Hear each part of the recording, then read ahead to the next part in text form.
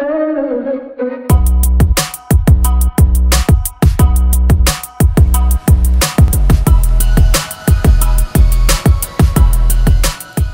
Kota Banjarmasin bersilaturahmi ke Gedung Rektorat Universitas Lambung Mangkurat di kawasan Kayu Tangi, Jumat 27 Agustus 2021. Alumnus Fakultas Perikanan ULM ini bertemu jajaran pimpinan kampus perjuangan, mulai dari Rektor, Wakil Rektor 1, 2, dan 4, sekaligus Kepala Biro Umum dan Keuangan, serta Kepala Biro Perencanaan, Kerjasama, dan Humas turut berhadir aktivis pemerhati lingkungan yang juga dosen Universitas Lambung Mangkurat.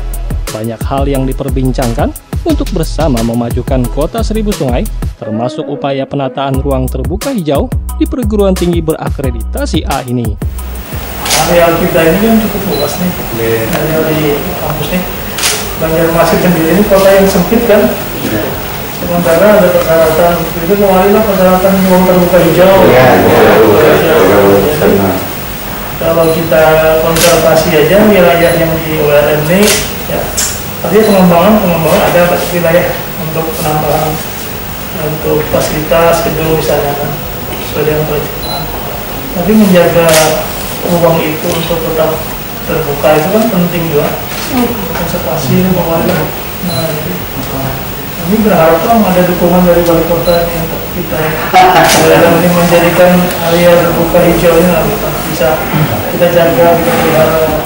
Di tahap awal, pihak WLM berharap bisa mendapat bantuan pengerukan Sungai Pangeran dan Kindau guna rencana pembangunan arboretum yang akan menghubungkan tiga danau kecil di kampus Banjarmasin. Fasilitas baru ini disiapkan memperindah kawasan lahan basah sekaligus menjadi sarana penelitian hingga bisa menjadi objek pariwisata baru dan tentunya mengantisipasi musibah banjir. Kebetulan ada RTH kan di ULM, ruang terbuka hijau, dan itu akan kita manfaatkan. Ruang terbuka hijau ini nanti akan diwacanakan jadi arboretum, di mana di dalamnya nanti akan ada beberapa embung atau danau. Nah, diharapkan danau tersebut nanti akan bisa menampung air, di mana manakala hujan dengan intensitas tinggi. Mendengar adanya rencana tersebut, wali kota langsung menghubungi pejabat terkait yang siap mengerjakan pengerukan dua sungai di tahun depan.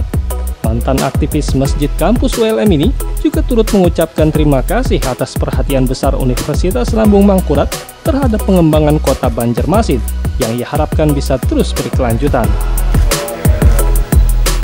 Minta masukan soal RTRW dan juga pengelolaan sungai terutama Sungai Pangeran dan Sungai Kidaung, antisipasi banjir dan lain sebagainya dan mudah-mudahan bisa ditindaklanjuti dalam bentuk kegiatan kerjasama. Uh, kan kami juga sudah punya MOU untuk kerjasama penelitian dan lain sebagainya. Kira-kira keberadaan ULM bisa bisa mensupport pemerintah kota dalam uh, penelitian dan juga pengembangan kota ke depan pasca pandemi dan juga antisipasi banjir.